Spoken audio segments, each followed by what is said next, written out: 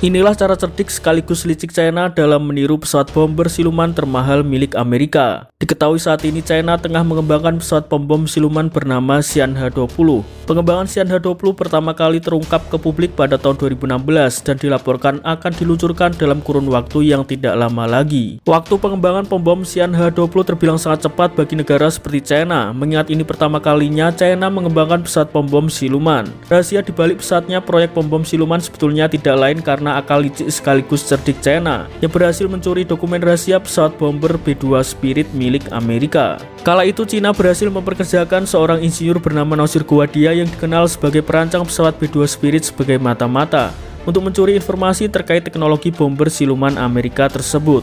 Alhasil berkat informasi dari Guadia, proyek penggarapan pembom siluman Xian H-20 China mengalami kemajuan pesat. Sementara Guadia sendiri ditangkap dan dijatuhi hukuman 32 tahun penjara dengan tuduhan spionase.